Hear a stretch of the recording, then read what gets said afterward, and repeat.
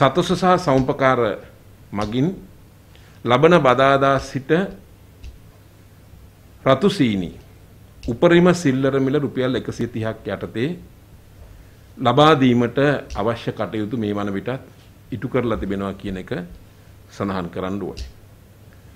ඒ අනුව ලබන බදාදායෙන් පස්සේ සතොස සහ සෞම්පකාර මගින් රතු සීනි 130කට කිලෝ එකක් මිල ලබා ගැනීමට අවශ්‍ය කටයුතු ක්‍රියාමාර්ග අරගෙන තිබෙනවා. මේ ප්‍රශ්නය සම්බන්ධයෙන් පාරිභෝගික අධිකාරිය විදිහට මීට පෙර ක්‍රියාමාර්ග ගණනාවක් ගනු ලැබුවා.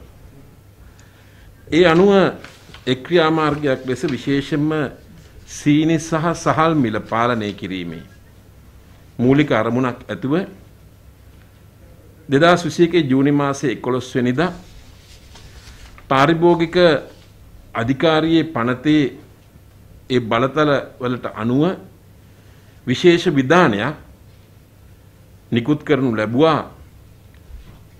වී සහල් එවගේම සීනි තිරිඟු පිටි සම්බන්ධව ගබඩා පවත්වාගෙන යන්න ලබනවා නම්.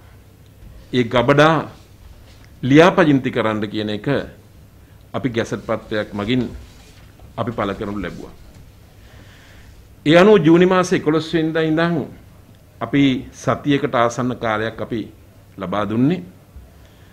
ඒ අනුව පසුගිය 13 වෙනිදා වන විට ලංකාවෙම වී ගබඩා 161කුත් සහල් ගබඩා 117කුත් සුදු සීනි ගබඩා 74කුත් රතු සීනි ගබඩා 52කුත් බඩයිරුඟු ගබඩා 32කුත් යනාදී වශයෙන් පාරිභෝගික අධිකාරියේ මේ ගබඩා ලියාපදිංචි කිරීම සිදු කරනු ලබලා තිබෙනවා.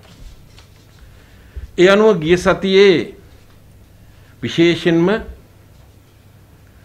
අද අපේ රටේ සහල් සම්පූර්ණ අපේ රටේ නිෂ්පාදනය කරන්නේ මේ සහල් වල ගුණාත්මක භාවය පිළිබඳව අපි එක් පැත්තකින් සතුටු වෙන්න ඕන අද ඉතාමත් ඉහළ ප්‍රමිතියකින් යුතුව මේ සහල් නිෂ්පාදනය කරනවා. ඒ වෙනුවෙන් ගොවි ජනතාව වගේම ඒ වගේම මෝල් හිමියන් වගේම මේ වී එක්රැස් කරන්නන් විදිහට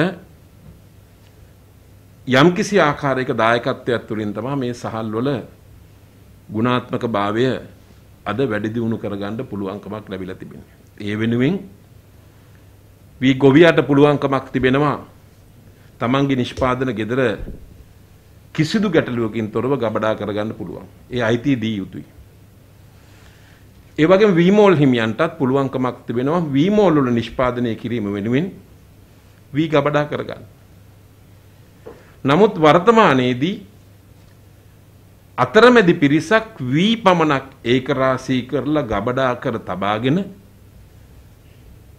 හිගයක් ඇතිවීම මට්ටමටම ඒ වී ගබඩා කරගෙන ඉඳලා මිල වැඩි වුණාට පස්සේ අලෙවි කිරීමේ ව්‍යාපාරයක් ස්ථාපිත වෙලා තිබෙනවා.